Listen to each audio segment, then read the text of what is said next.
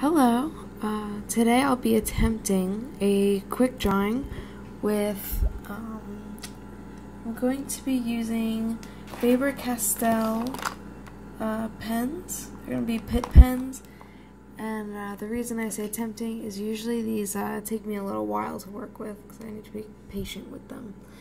Uh, I hope you enjoy.